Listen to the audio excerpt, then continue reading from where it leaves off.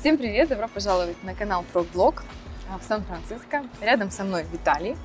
А, у Виталия интересная а, карьера, как, впрочем, и у остальных моих героев. Но мы сегодня поговорим не только о технологиях, о них, конечно же, в том числе, но и поговорим о том, как создавать стартапы, как их продавать в Google а, и как развиваться в карьере, чтобы не становилось скучно в области IT.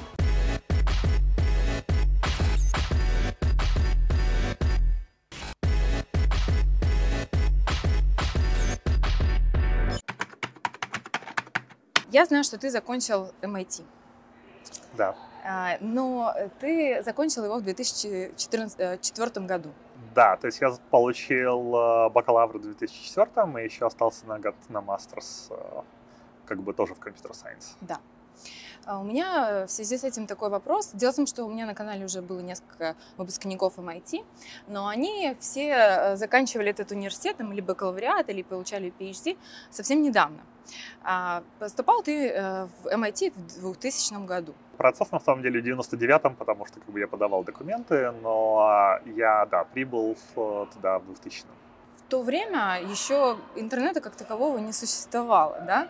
Ну, то есть, насколько я помню, это было ICQ и какие-то чаты, и, собственно, в доступе, в таком обилии информации не было, а, как сейчас. Сейчас ты хочешь, нагуглил, посмотрел, как поступать в тот или иной университет, кто-то даже есть какие-то подсказки, истории, как э, сделать это все лучше. А как ты тогда добывал информацию и вообще как в твоей голове зародилась идея поступить в MIT? Это сама по себе довольно интересная история, потому что я знал о самом как бы, вузе с очень раннего возраста. Мне, по-моему, было 4 или 5 лет, и э, мы с папой клеили обои и смотрели какой-то американский экшен-фильм, как сейчас помню, назывался «Гром в раю». Там э, один из героев э, пытался починить какой-то двигатель, и а, жаловался, что, значит, вот он э, механик с образованием из MIT, и он не может что-то починить.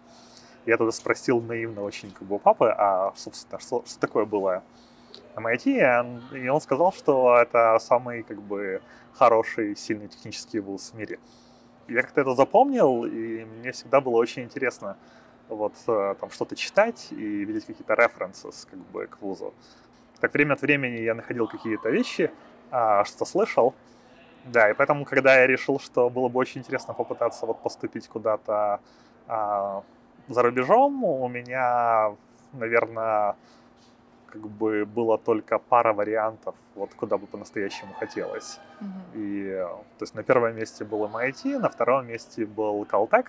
С интернетом тогда действительно были проблемы, он уже был, а, но информацию я обычно собирал просто вот э, приходя к папе на работу, у них там э, уже какой-то интернет был, а днем все линии были заняты, поэтому обычно я приходил где-то там часов 8-9 вечера, ставил чайник, э, готовил чай, э, пил и ждал, пока там вот страницы разных вузов загрузятся.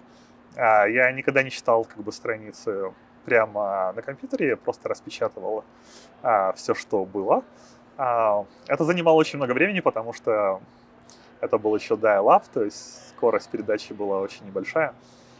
Но как бы к утру у меня уже была большая стопка каких-то вещей, и я вот такие сеансы проводил, не знаю, наверное, несколько раз. То есть э, и потом просто анализировал всю информацию, которую я, собственно, умудрился распечатывать.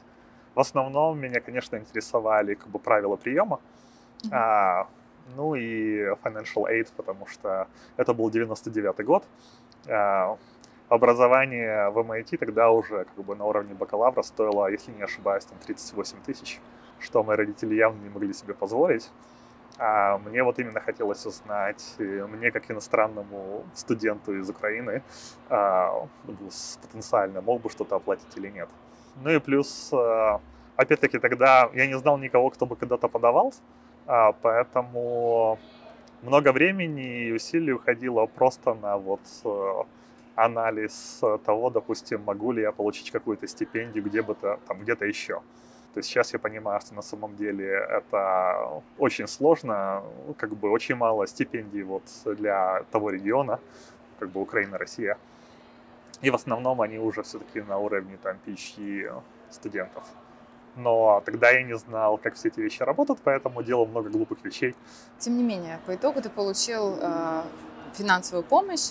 Да, поступил? то есть э, поступил. Э, сама даже подготовка к поступлению на самом деле тогда была э, немножко сложная, потому что у всех американских вузов есть какие-то требования там, к тестам, к э, рекомендательным письмам, к сочинениям. А, и это требования, которые довольно понятны для людей, которые выросли в Штатах. Ну, мне кажется, может быть, более понятны для людей, допустим, которые выросли там, в Западной Европе. Есть отдельные вещи, как написание рекомендательных писем, которые а, страны бывшего Советского Союза люди вот, ну, просто не умеют писать. То есть э, типичное рекомендательное письмо в Украине, да, это человек, э, какой-нибудь профессор или там вот человек с большим званием, пишет письмо, которое говорит, что вот э, Виталик, допустим, это и дальше идет большое перечисление эпитетов. Считается, что это хорошее рекомендательное письмо. То в то же самое время, как бы там любой человек э, в комиссии, которая решает, тебе принять или не принять, на такое рекомендательное письмо совсем не будет обращать внимания, просто потому, что оно как бы ни о чем. Как должно оно выглядеть в Америке? С эпитетами можно подождать, а, но если ты какие-то используешь, то ты должен показать, собственно, почему этот человек, допустим, э, не знаю, умный или э, почему он много работает. А есть свои нюансы, потому что часто фраза как бы он э, там hardworking, да, то есть много работающий, означает, что, наверное, не очень умный, если так, так много работает, а результат как бы тот же самый. Лучше всего работают рекомендательные письма, которые вот по-настоящему каким-то образом открывают человека. Они описывают какую-то ситуацию, когда он что-то сделал или как-то решил э, проблему совсем по-другому или интересно, или еще что-то. Иначе э, письмо никак не останется в памяти человека, который его читает. И поэтому ты можешь быть замечательным человеком, и все тебе может быть хорошо, но так или иначе тебе важно как-то вот выделяться из общего пула кандидатов. Потому что если много кандидатов очень похожих друг на дружку, то твои шансы не могут быть лучше среднего. Да. Ты а, поступил в MIT, но до этого ты учился в Днепропетровском государственном, университете. университете. Да, два а, года. А, то есть э, ты переводился после какого-то а, после какого-то курса, после второго? Да. Это вот эти транзиты, они как-то облегчают задачу поступления или они ее наоборот усложняют? Они ее на самом деле очень усложняют, э, и это была одна из тех вот глупых вещей, которые я в свое время сделал, просто потому что я не знал, как это работает. В Штатах э, вот так называемые трансферы, то есть студенты, которые переходят, начинают учиться в одном университете, а потом переходят в другой, и это, возможно, существует. А, но в целом количество transfer students, которые берут университеты, оно относительно маленькое. А, то есть, и это особенно как бы а, так вот для international transfers, то есть международных студентов. Если не ошибаюсь, э, если в среднем, допустим, по крайней мере на тот момент MIT в год брал порядка 100 человек, иностранных студентов, а, как бы вот именно на undergrad, а на бакалавра, то трансферов было то ли 8, то ли 9. Понятное дело, что в этом случае а, там количество человек на место, с которым тебе приходится соревноваться, оно гораздо больше. И по-настоящему, если бы я знал, что вот ситуация обстоит таким образом, наверное, мне имело бы больше смысла, грубо говоря, забыть о том, что я где-то учился в Украине, в университете, и подаваться, собственно, как фрешману. Ну, либо уже заканчивать университет в Украине и подаваться, допустим, на PhD. Но тогда я этого не знал, и по большому счету мне сильно повезло, а, что мне удалось поступить. Но это сделало процесс поступления тоже гораздо более сложным, потому что там одна из вещей, допустим, которая требуется э, от тебя, это как бы программу университета и описание всех предметов, которые ты брал на английском языке. То есть вот в реалиях э, как бы украинской университетской жизни э, эти описания часто отсутствуют на каком бы то ни было языке. И поэтому, когда ты вот проходишь по всем конспектам и начинаешь составлять, собственно, описание всех предметов, которые ты когда бы ты брал, и переводить их на английский, это довольно много работы. Да, это тянет за собой еще большой бюрократический хвост, я уверен. Да, на самом деле вот многие вещи превращаются в более сложные просто потому, что ты поступаешь не из Штатов. Э, мне надо было сдавать, допустим, TOEFL, это как бы относительно легкий тест по английскому. А, и нужно было сдавать SAT-2, то есть предметные тесты.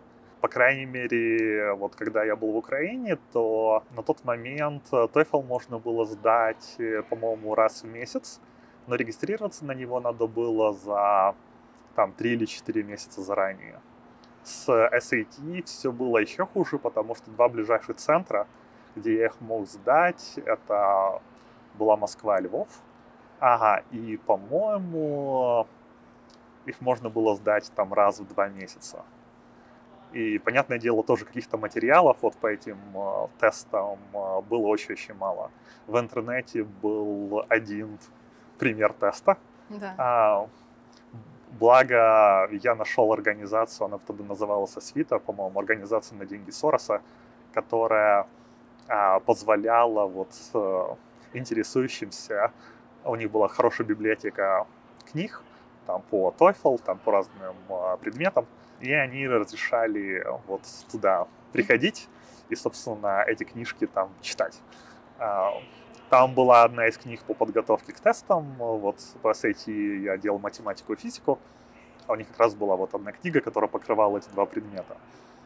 И а, она мне очень-очень сильно помогла, потому что то есть у меня никогда не было проблем там, с математикой или физикой, но вся система вот тестовая построена совсем по-другому, потому что если в Украине обычно у тебя есть там 3-4 задачи на час, которые ты решаешь, они более сложные, то система тестов SAT построена на том, что ты очень-очень быстро решаешь большое количество относительно простых задач как бы э, без ошибок. Там есть свои нюансы, то есть поскольку это like uh, multiple choice answer, да, у тебя есть несколько вариантов ответов, которые ты можешь выбрать.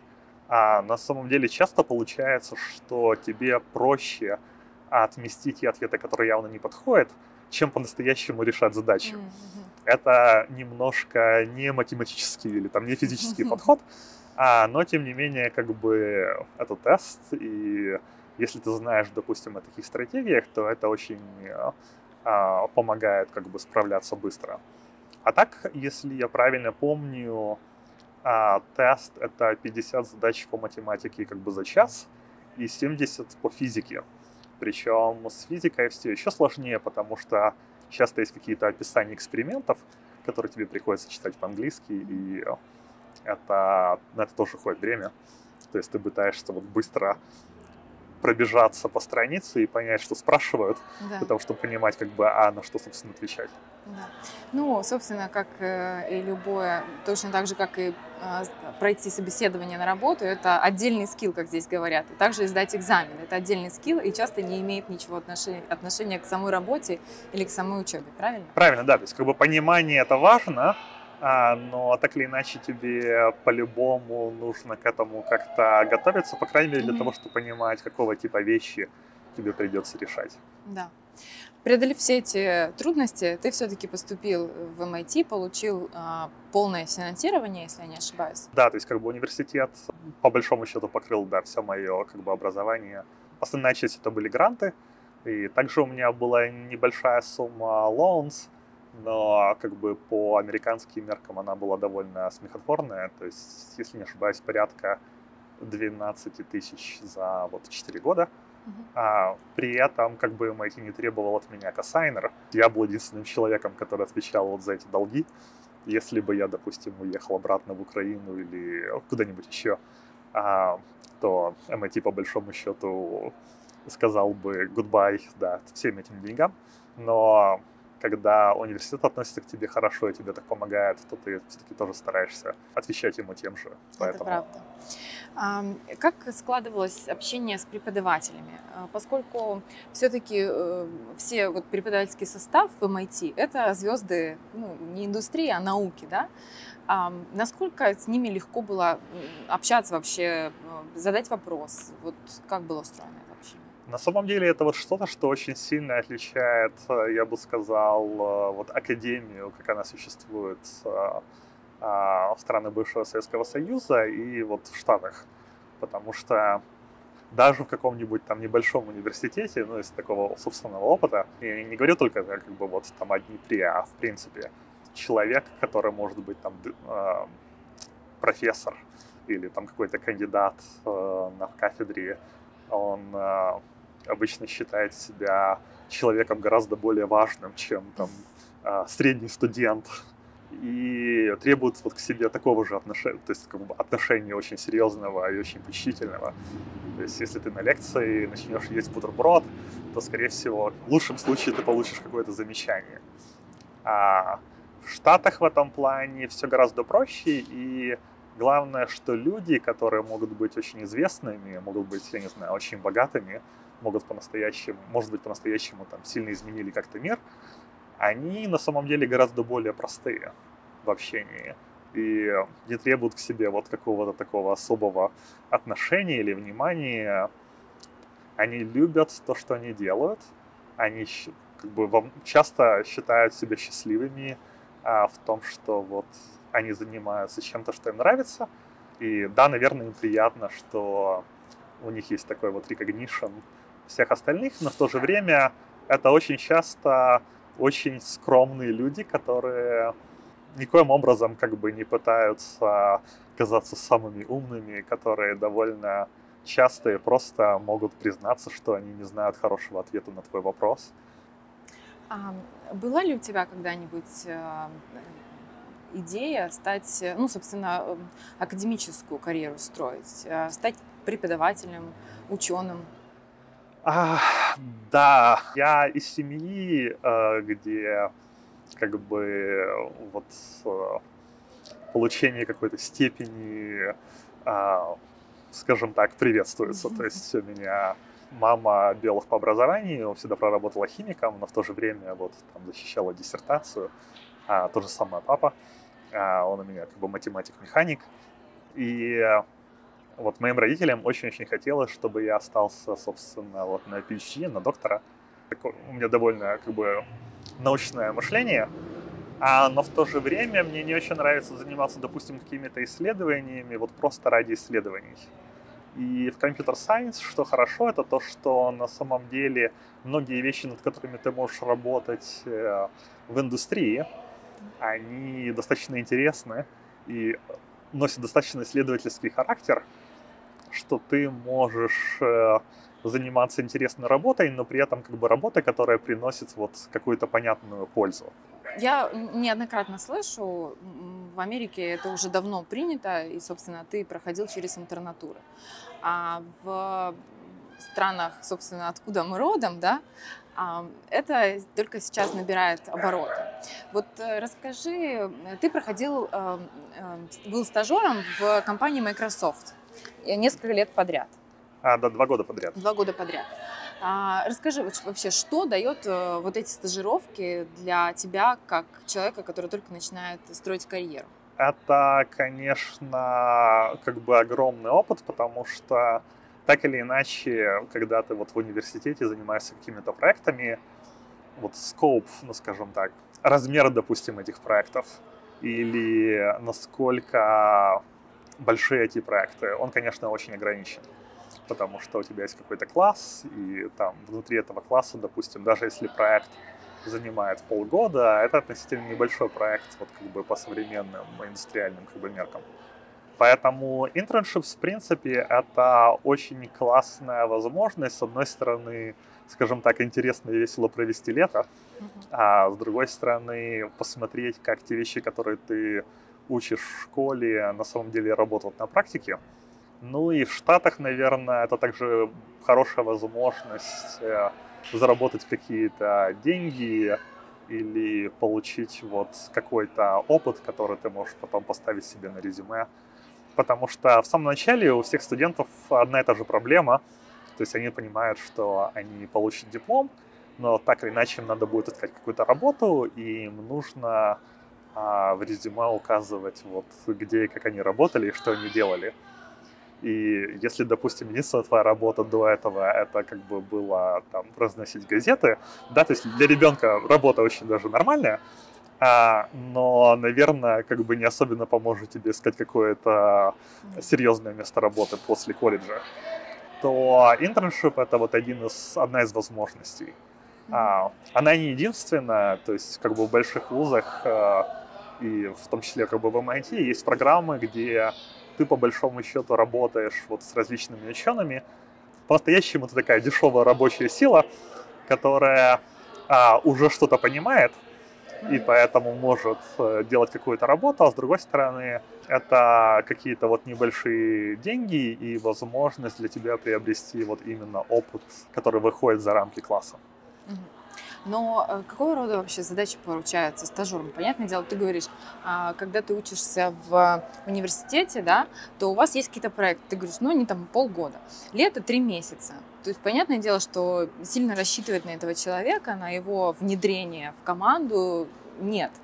А, видимо, ну, вот как мне кажется, и задачи получаются такие достаточно поверхностные и не очень важные. Или это не так? На самом деле немножко не так. То есть тут надо понимать, что компании в основном предлагают интерншип с, с целью заполучить э, хороших кандидатов сразу же после окончания вуза. То есть они тоже от этого выигрывают. То есть у компании есть э, заинтересованность как бы в наиболее сильных студентах.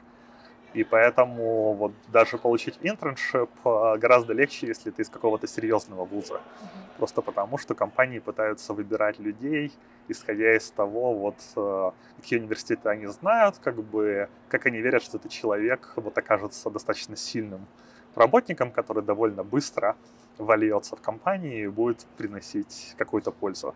Поэтому у компаний получается, с одной стороны, они хотят выбрать наиболее хороших людей, а с другой стороны, они пытаются человека привлечь. Потому что если человек сильный, у него наверняка будут различные варианты после окончания вуза, и у компании таким образом есть возможность, показав, как замечательно у нас тут все есть, а, заполучить этого человека после окончания как бы вуза. Mm-hmm. А, поэтому, как это ни странно, но, наверное, самые интересные проекты, которые есть, обычно, то есть, ну, при условии, что они имеют какой-то ограниченный уровень сложности, их обычно отдают именно интерну.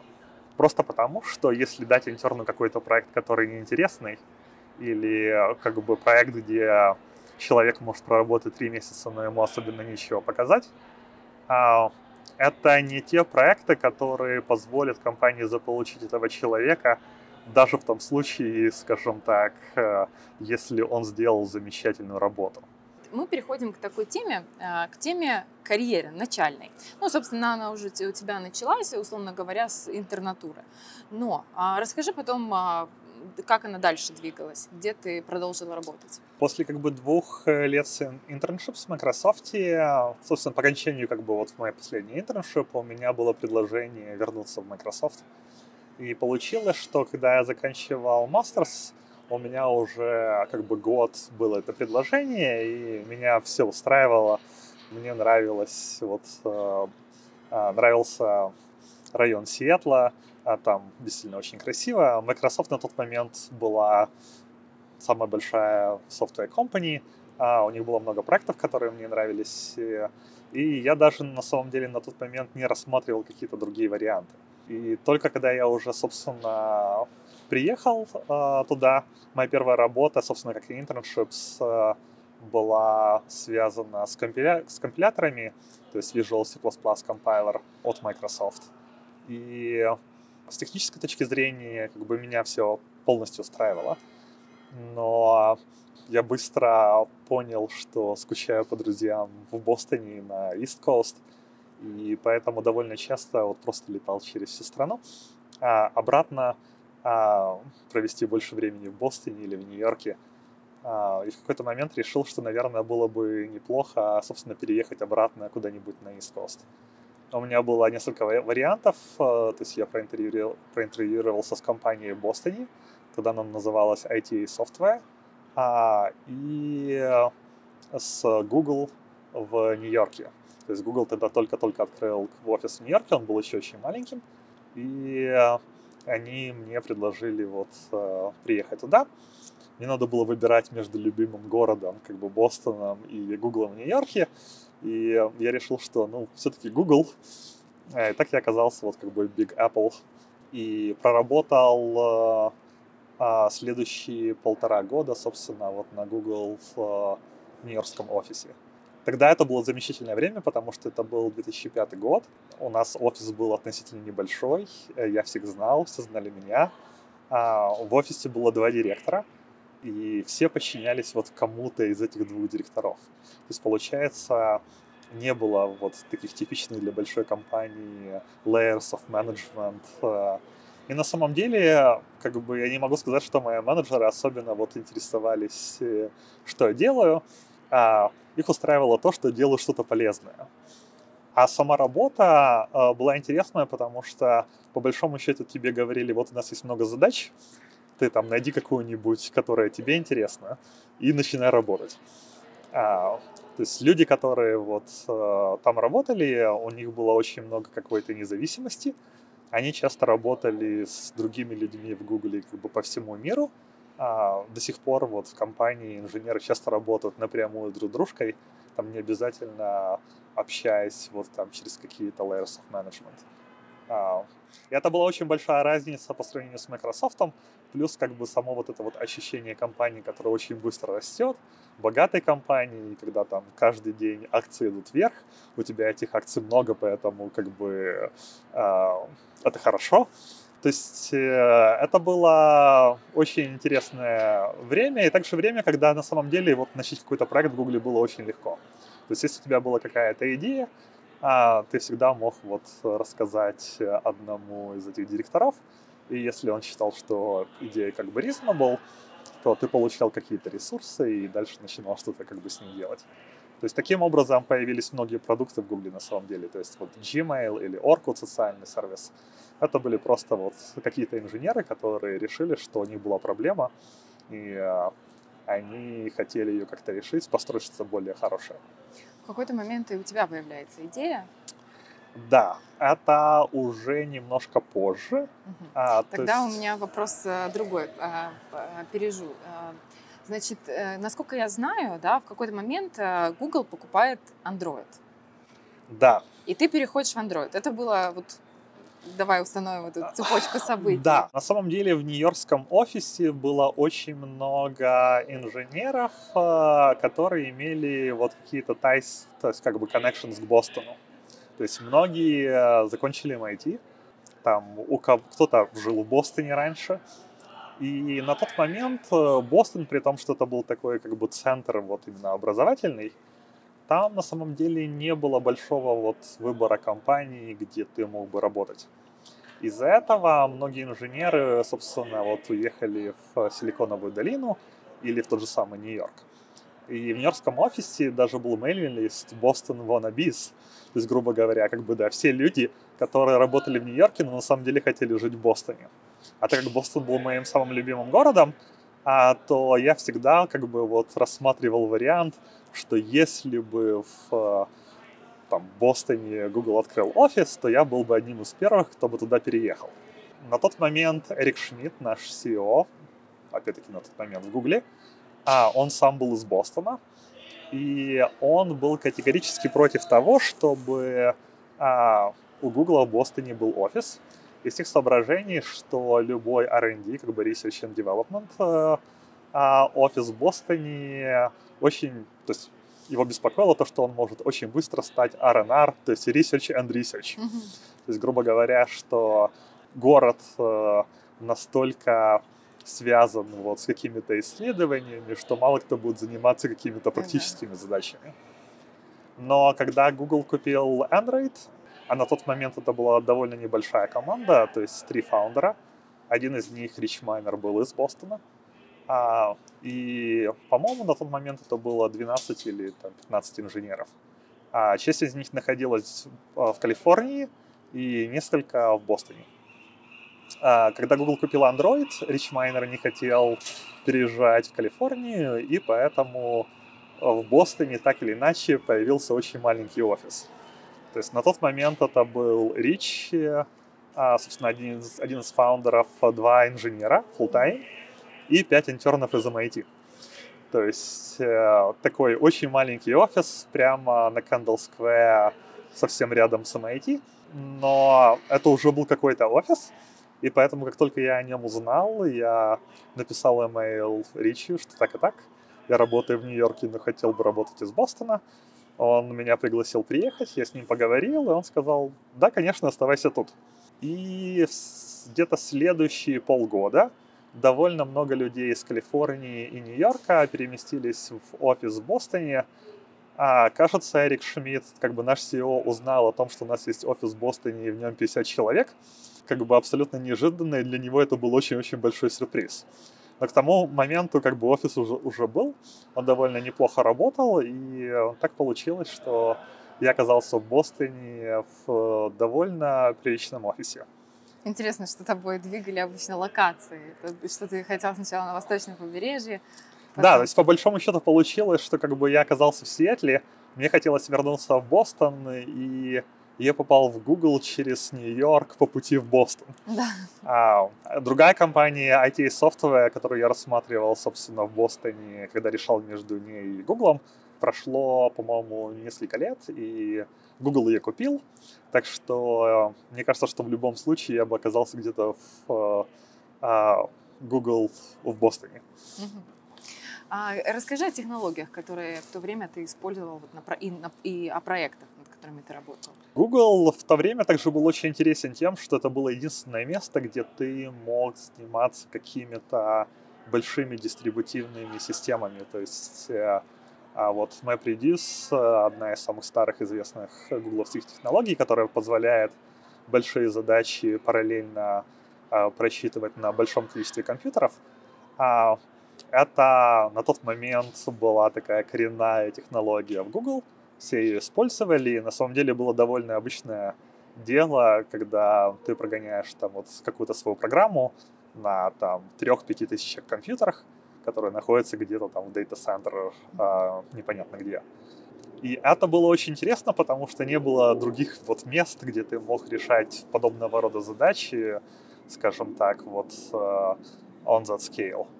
На самом деле первая моя работа в Google была носила такой очень программно-аналитический характер, потому что я занимался разработкой систем, которые помогали Google а, абсолютно легально а, собирать и анализировать информацию о наших конкурентах на тот момент. То есть как бы Microsoft, Yahoo и разных сервисах, а, которыми эти конкуренты пользовались. А, в IT всегда очень много какого-то соревнования, как, бы competition, и а, многим а, менеджерам, особенно как бы продукт-менеджерам в Google хотелось как можно быстрее получать информацию о том, вот что по-настоящему работает с точки зрения продукта. То есть, если, допустим, а, Microsoft на своем главном веб-сайте что-то меняет, а как это отражается на трафике, который идет к этому сайту, или, скажем так, на том времени, которое люди проводят на этом сайте. Все компании, и особенно большие компании, собирают какую-то такую информацию для того, чтобы каким-то образом вот улучшать э, свои собственные продукты. Google был интересен тем, что он собирал информацию о продуктах конкурентов. И это была сама по себе довольно большая задача, потому что, а, несмотря на то, что компании собирают как бы большие объемы данных, а собрать относительно легко. То есть сейчас есть очень большие hard drives, а, где можно хранить как бы петабайты и петабайты какой-то информации. На самом деле bottleneck — это обработка, потому что когда у тебя вот много-много-много всего, на самом деле найти и получить какую-то вот actionable data, то есть информация, а, которая по-настоящему полезна, информацию — а, как бы это сложно и требует обычно вот именно как там поиск иголки в стоге сена, переборки очень большого количества разных данных. А, поэтому первый год в нью офисе я в основном занимался data mining, то есть именно проблемами поиска какой-то полезной информации в том, что Google собирал. И это было очень интересно, потому что это был первый, наверное, случай в моей жизни, где мне приходилось сталкиваться с такими объемами. И многие решения, которые там использовались, они именно носили такой очень дистрибутивный характер, то есть все вычисления проходили не на одном компьютере, а на большом количестве каких-то машин, которые между собой как-то общались. Моя подобная работа закончилась, когда я перешел в Бостон, а, но в то же время, наверное, самый интересный вот случай был именно, когда только-только переехал в Бостон, и кто-то а, мне позвонил, что в Гугле происходит довольно редко, потому что обычно люди просто пишут имейлы. Кто позвонил из Калифорнии и сказал, что так и так, значит, а, а, наш лидершип, то есть все большие люди а, решают, а, думают о том, чтобы купить одну компанию. Мы тебе не скажем, как бы имя этой компании, но нам нужны все, там, вся информация по а, MSN видео, а, Yahoo видео, Google видео и YouTube. И э, я потратил, наверное, где-то 5-6 часов, э, собственно, вот ночью, э, собирая всю информацию, которая у нас только была про YouTube. И, собственно, через день я узнал о том, что Google все-таки решил YouTube купить. Это был такой интересный случай. Я до сих пор думаю, что фаундеры YouTube должны были мне быть очень-очень благодарны, что я нигде там не упустил нолик. Да. А, то есть э, так вот все интересно произошло. Мы, собственно, двигаемся в сторону интересной. Ну, а, почему она мне интересна? Потому что у меня пока не было а, таких гостей, которые продали бы кому-нибудь свой стартап. И это, правда, очень интересно. Почему еще интересно? Потому что, а, забегая наперед, такое ощущение, что, опять же, у тебя не, это не единственный стартап, а было еще, такое ощущение, что ты четко умеешь вот словить эту идею, чтобы ее продать большой компании. Ну, то есть как-то ты как будто нащупываешь. Вот этот секрет мы попытаемся сегодня разгадать с моими зрителями если ты добровольно а... не поделишься. Нет, то есть как бы, ну да, у меня секретов больших нет. Наверное, как бы следует начать с того, что можно преследовать разные цели, когда создаешь компанию. И в этом плане, наверное, то есть я не могу сказать, что когда вот э, я первый раз э, пробовал создать что-то свое, а, что я вот так вот уж точно пробовал э, создать компанию и ее кому-то продать. То есть на самом деле на тот момент мне просто хотелось создать что-то новое, как бы что-то, что имело бы вот, ну, я не знаю, мое имя, допустим.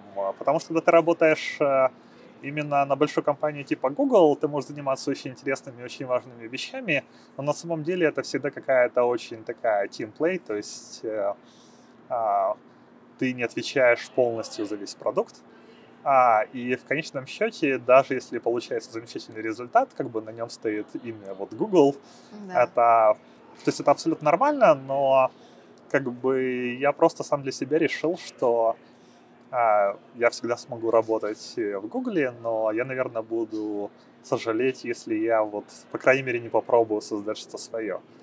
А... Но ведь э, первая попытка у тебя все-таки была внутри Гугла создать да. что-то да, то есть как бы а, первый проект, а, то есть а, на самом деле у меня заняло вот какое-то время, прежде чем я понял, что мне по-настоящему хочется создать вот что-то именно свое. И первый проект, который я начал, я начал именно в Google, но на самом деле я рассматривал разные варианты, скажем так, развития этого проекта. Потому что а, мой проект был связан с музыкой, и именно как бы а, real-time audio identification, то есть задача, когда вот в те времена а, Shazam еще а, не был популярной программой, и даже на YouTube на самом деле ты часто не мог определить, какая музыка играла. Мне музыка всегда нравилась, и поэтому мне всегда было очень интересно, как, собственно, а, работают программы, которые с музыкой как-то связаны.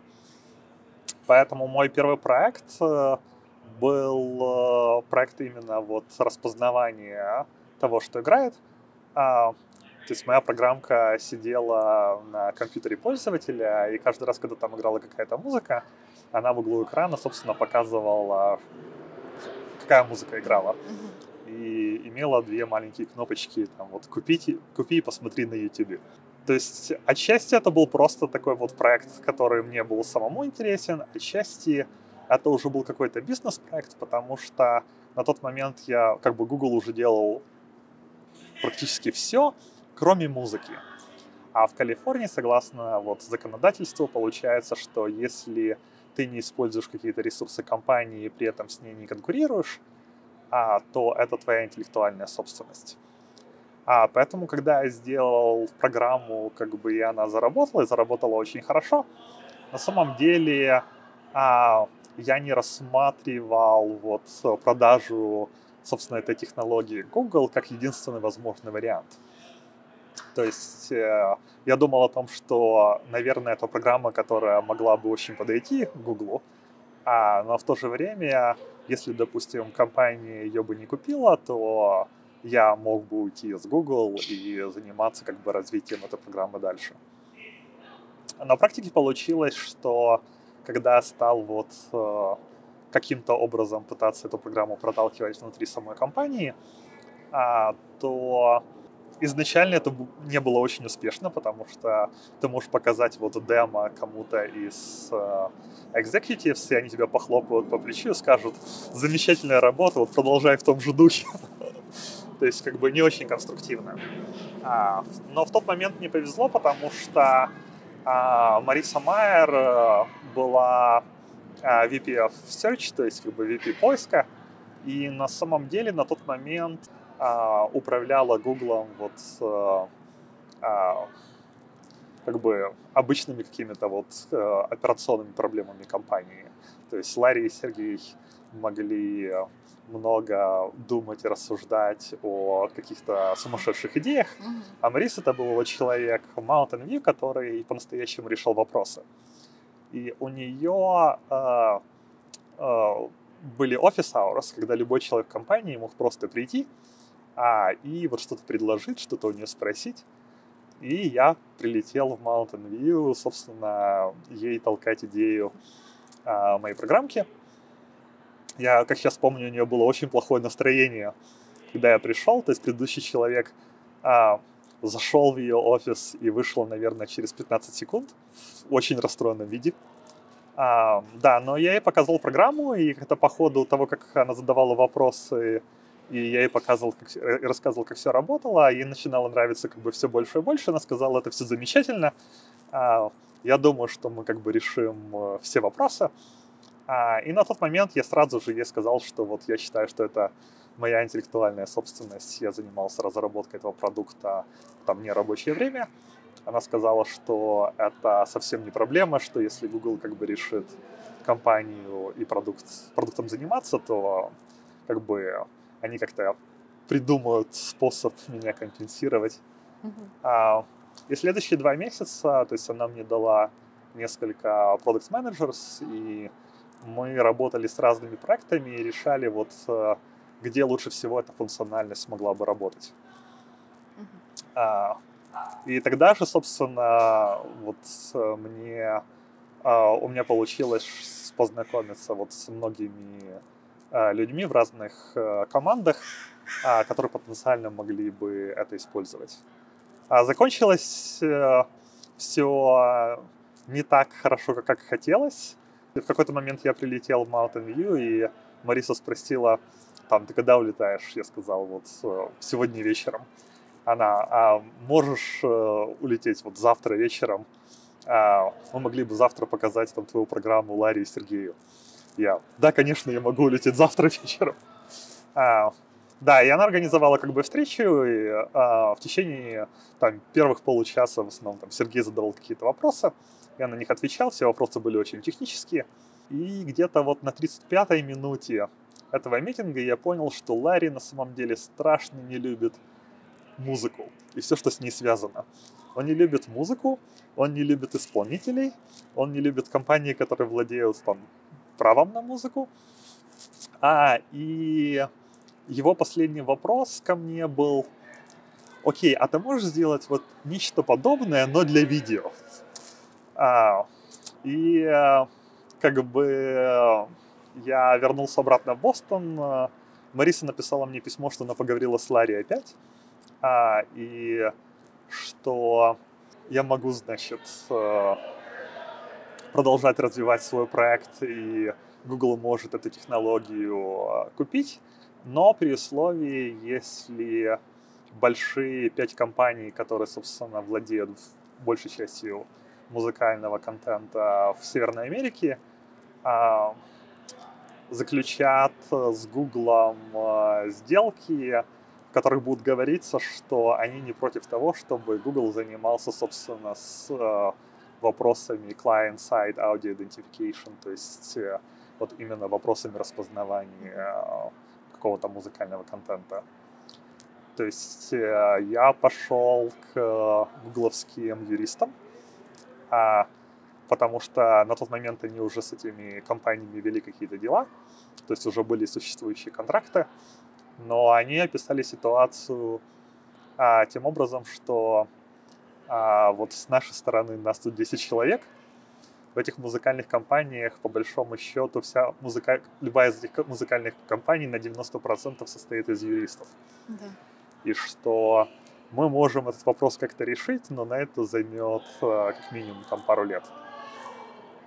Ну и плюс получилось, что вот прямо перед встречей с Ларри и Сергеем а, а ко мне на стол приземлились э, гугловские лоеры и стали меня спрашивать, вот как бы ты говоришь, что это твоя интеллектуальная собственность, э, но а вот когда играет какая-то музыка, тут появляется в уголку там две кнопки «Купи», «Посмотри на YouTube», они конкурируют ли это с какими-то продуктами вот типа рекламы, потому что некоторые люди продают музыку через Google. И, в общем-то, как бы было понятно, что а, в принципе, даже если бы все сработало, на самом деле а, я был бы в заранее невыгодном, невыгодной позиции, потому что, скорее всего, у меня был бы только один покупатель, именно Google.